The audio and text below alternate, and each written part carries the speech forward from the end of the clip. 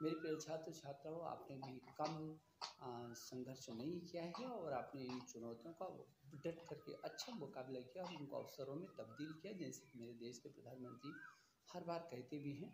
अभी भी हम सोच रहे थे कि अभी थोड़ा सा परिस्थितियाँ ठीक हो जाएँगी, इसकी प्रतीक्षा करते और जैसे कि पिछली बार हमने एक बार स्थगित करके आप की मांग पर और जो परिस्थितियाँ थी, हमको लगा कि चार मई से जो परीक्षाएँ होंगी, जून तक ख़त्म हो जाएँगी स्थिति सामान्य होगी और फिर हम समय पर सत्र को शुरू कर सकेंगे।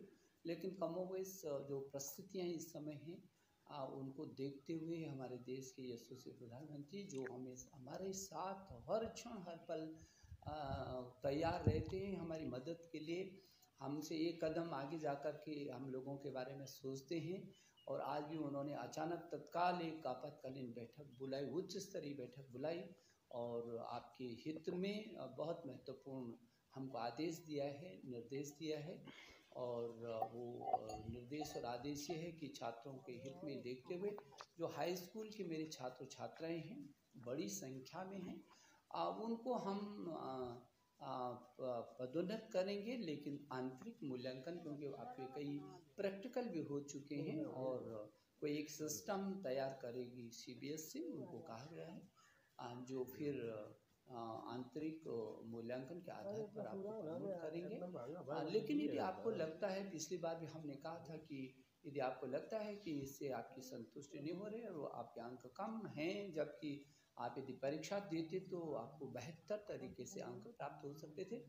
तो हम आपके लिए बिल्कुल खुला रखेंगे रास्ता और यदि आपको लगेगा कि नहीं, कम नंबर आई हैं इस मूल्यांकन में, मेरे को अच्छे हैं तो आप परीक्षा की मांग कर सकते हैं। समय, एक निर्धारित समय के अंदर अंदर आप निवेदन करेंगे कि आप परीक्षा देना चाहते हैं। जब भी ऐसी स्थिति होगी, तब हम आपको परीक्षा में बिठाएँगे, आपकी परीक्षा को लेंगे। जहाँ तक इंटर का विषय है इंटर की परीक्षाएँ अभी स्थगित की हैं बोर्ड की परीक्षाओं को स्थगित किया है। लेकिन मैं छात्रों से कहना चाहता हूँ, छात्र छात्राओं से बेहतर अवसर है। आप और थोड़ा सा आगे बढ़िए। ये अभी इकतीस मई तक ये स्थगित कर दिया है। एक जून को हम आपको फिर बताएँगे कि आगे हमको क्या निर्णय लेना कब आपकी परीक्षाओं की तिथियों को घोषित करना है।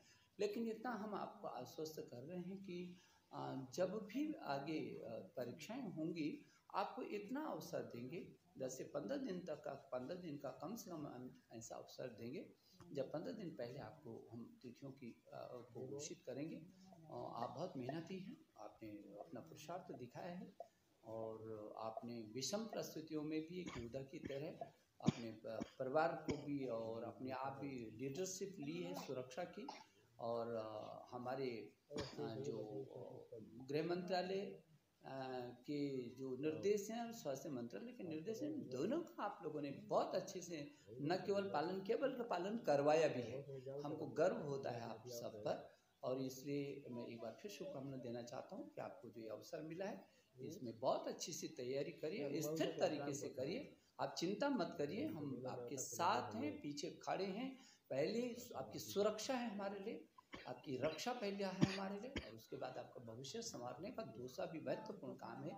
और इसलिए आपने भी बहुत अच्छे तरीके से किया। जेई की परीक्षाएँ करवाई, नीट की परीक्षा सबसे पहले तो आप सबको बहुत धन्यवाद देना चाहता हूँ कि इस कोरोना काल के इस महासंकट में जिस तरीके से अभिभावक और अध्यापक, आप दोनों लोगों ने छात्र अभी बच्चों के साथ अपनी सहभागिता बढ़ा करके और इस महासंकट के समय में भी उसका मनोबल बना करके रखा है। मैं आपके प्रति बहुत आभारी भी हूँ। और दुनिया का सबसे बड़ा लोकतांत्रिक देश हिंदुस्तान जिसमें करोड़ों करोड़ छात्र छात्राएँ हैं आ, उनका पिछले वर्ष इन विषम परिस्थितियों में भी आ, पूरा वर्ष खराब